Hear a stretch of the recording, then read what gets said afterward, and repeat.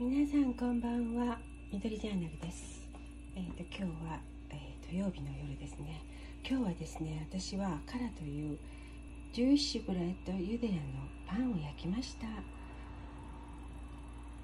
とこれはちょっと私甘くてハニーが少し入ってるんですけれども甘くて柔らかいのであの硬い Germany のパパンだとかいうよりもすごく好きなんですよね。でよく焼くんですけれども、まあ、うまく今日は焼けました。えー、っとそうそうこれねこっちちょっと待って。ここ。あれ？そう切り口も綺麗になってるでしょ。これはあだいたいユダヤのお祝い事 Passover とかそういう Jewish holiday の時にいただくものなんですけれども私は普通の時によく食べています。それでですね。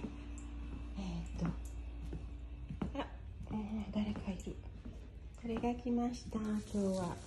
ちょっとどいて。ちょっと。ちょっとごめんね。ちょっと。これなんですけどえっ、ー、とプレスマットっていうんですか？これがねアンソロポロジーから届いたんですよ。でいつも4枚セットで買うんですけれどもなんか一つ一つ大きな箱に入っててびっくりしました。その箱はまた使うので取ってありますね。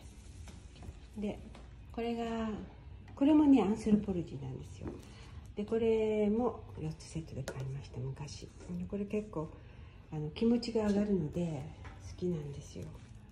3つふさふさがついててこれに置くとなんかとても明るく明るい気持ちになって今みたいなシェルターインスペースの時はすごく元気が出るのでまずこれをテーブルに敷き詰めてそれであのその上に、えーと、食事を乗せています、猫ちゃんが好きな素材なので。ごめんね。ちょっといい？これを。おにいや。でこれを。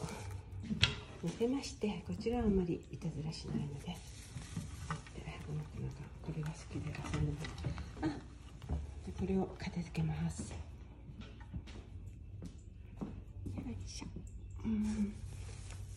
ここにですねこの間まで椅子があの机があったんですよ。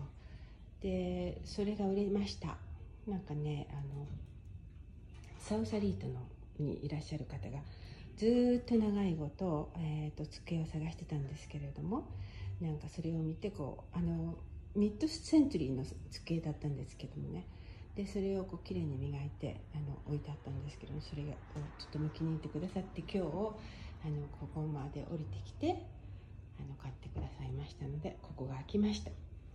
なのでこの、えっと、チェストをこっち側に向けてこういう風に空間ができました。ほっとしました。というわけで私は今からお勉強します。えっ、とちょっと最近マスタークラスっていうのが YouTube でやっておりましてそれをちょっと調べて撮ろうかなと思ってるんですけれども、えー、と一応どういうものをやろうかなっていくつか興味があるんですけどもまとまらないんですよね。だからちょっと調べてひょっとしたら撮るかもしれませんね。ということでまた皆さん素敵な日曜日をお過ごしください。緑ジャーナルでした。